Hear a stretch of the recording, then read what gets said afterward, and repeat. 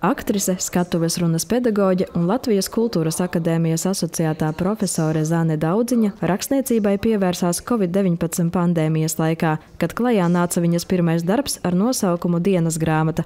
Tā iemantoja tik lielu lasītāju mīlestību, ka Zane turpināja izdot grāmatas arī par citiem tematiem. Tiekoties ar jēkapuliešiem Kruspils kultūras centrā, Zāne Daudziņa dalījās pārdomās gan par rakstīšanu, gan citiem aktuāliem tematiem. Grāmatā Mans kara gads aktrise Agnese apraksta, kāda ir viņas ikdiena un pārdomas pēc kara sākuma Ukrainā. Viņa atzīst, ka tas ir satricinājis ticību gaišai nākotnē, bet vienlaikus uzsver, ka mēs nedrīkstam krist izmisumā.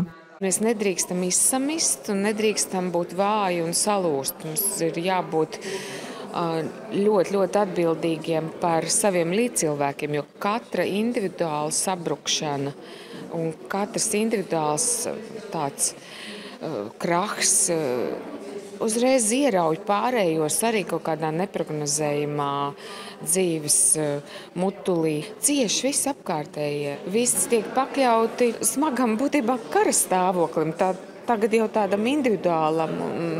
Tā kā mums jānotur tas miera bastions, ir sev pārskatāmās robežās. Tā ir mūsu atbildība. Tā es to izjūtu šobrīd.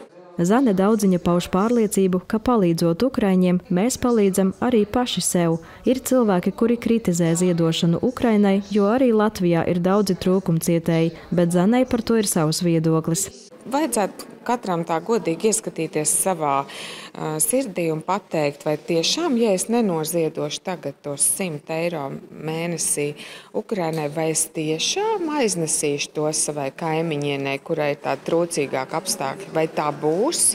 Visticamāk, tie cilvēki, kuri ziedo Ukrainai, viņi turpina atbalstīt un turēt pie dzīvības un veselības arī savus līdzcilvēkus.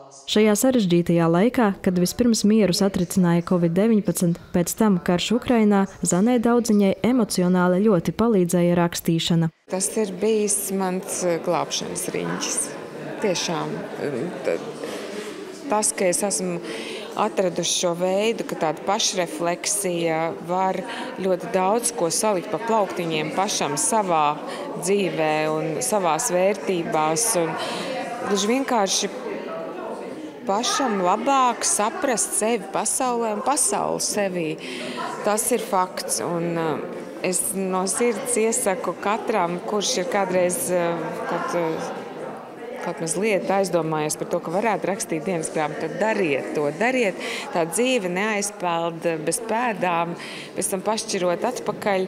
Pat ja mēs to nekur netaisāmies publicēt, tad tas ir ārkārtīgi interesanti, jo caur tiem vārdiem, ko tu esi pierakstījis, tu pēkšņi sajūti smaržas, garšas, tu atkal ieraugi to gaismu, to, to atmosfēru, tos cilvēkus, ar kuriem tu esi bijis kopā. Tā ir liela bagātība. Tā, tava dzīve nav tik vienkārši aizslaucīta prom.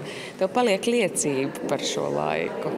Zane Daudziņa jau raksta nākamo grāmatu, šoreiz bērnības atmiņas par dzīvi komunālajā dzīvoklī, par kolorītajiem kaimiņiem un dažādiem ikdienas notikumiem. Sarunu ar Zani Daudziņu vadīja kultūras žurnāliste Liega Piešiņa, un tikšanās bija viena no aktivitātēm projektā Grāmata rosina sarunu par aktuālo. Sandra Pēgļkalne, Kaspars Deņeļevičs, Vidusdaugavas televīzija.